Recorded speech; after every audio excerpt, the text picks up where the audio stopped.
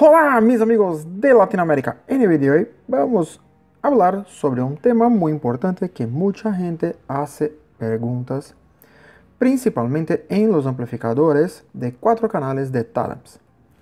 Aquí tenemos dos ejemplos con conectores diferentes, donde tenemos aquí los canales 1, 2, 3 y 4. Aquí también los canales 1, 2, 3 y 4. Como podemos ver, los canales son siempre, los dos canales son siempre con tres tornillos en los dos ejemplos. Este es una característica común de todos los amplificadores Taramps. Otro punto común, en una punta tenemos el positivo de salida de un canal en centro tenemos el negativo de este canal y el positivo del otro canal. Y aquí, en la otra punta, tenemos el negativo de este segundo canal.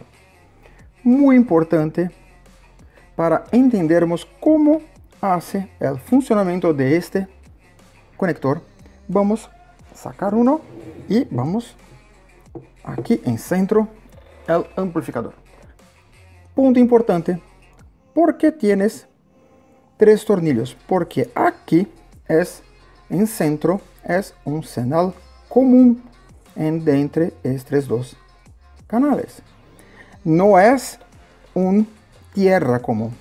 Pero aquí tenemos, como todo amplificador, tenemos una fuente interna que transforma la tensión de los 12 voltios en una tensión mayor como todos los amplificadores automotrices.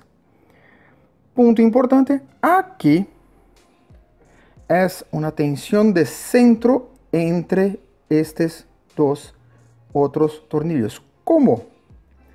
Por ejemplo, si tenemos una fuente simétrica donde tenemos tres puntos importantes.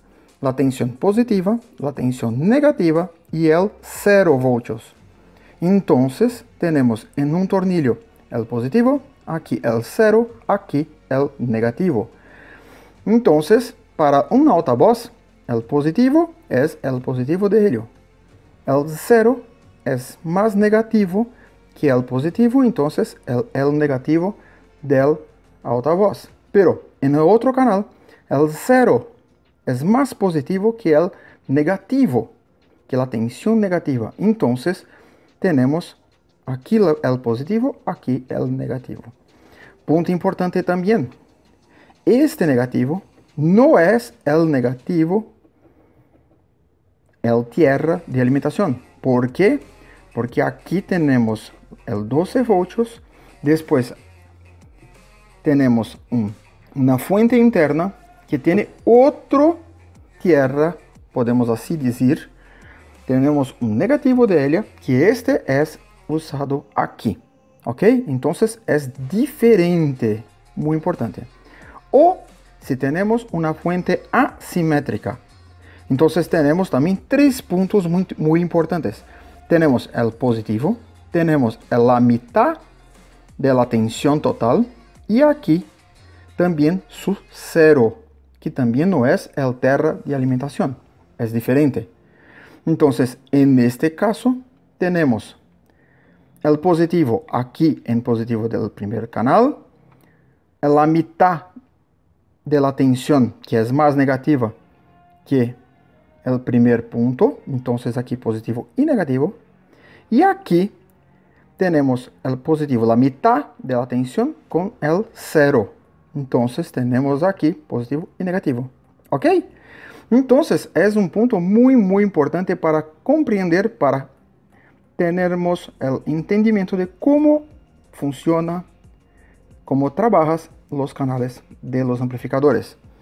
Aquí, como ejemplo sencillo, podemos poner aquí cables para hacer el ejemplo. Entonces, donde tenemos aquí la marca es el negativo podemos hacer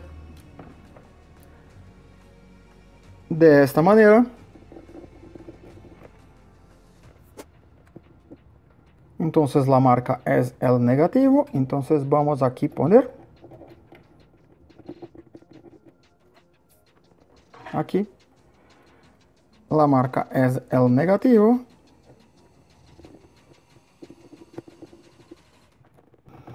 Entonces podemos ver aquí positivo. Negativo con la marca. Positivo. Y aquí negativo. Entonces tenemos aquí una salida para un altavoz aquí para otro altavoz o para dos altavoces porque aquí tenemos la impedancia de 2 ohmios y aquí también la impedancia de 2 ohmios. Otro punto muy importante que podemos hablar aquí, que es siempre en estos casos los canales son 2 ohmios aquí, como ejemplo, y su puente es 4 ohmios. Podemos decir de la siguiente manera, para hacer la puente tenemos la suma de la potencia de los canales y sus impedancias. Entonces aquí tenemos un canal 100 watts 2 ohmios. Aquí otro canal 100 watts 2 ohmios. Entonces su puente es 200 watts 4 ohmios.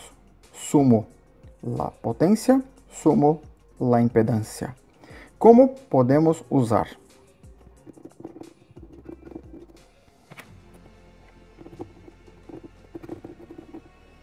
Entonces para la puente es muy sencillo, puedo usar solamente las puntas de estos dos canales.